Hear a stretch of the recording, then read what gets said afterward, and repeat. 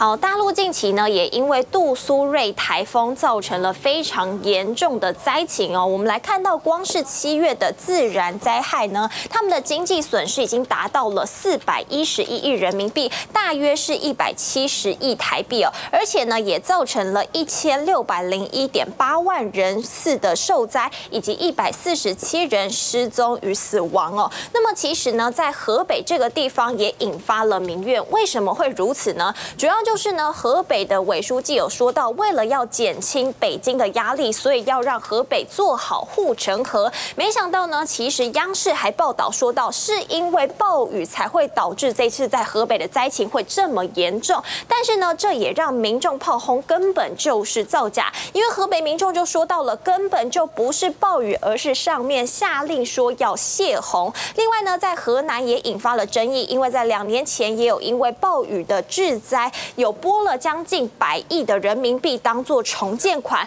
没有想到呢，最后被媒体披露说根本就没有给百百姓，也引发了民怨。想看最完整的新闻内容，记得下载 TVBS 新闻网 APP。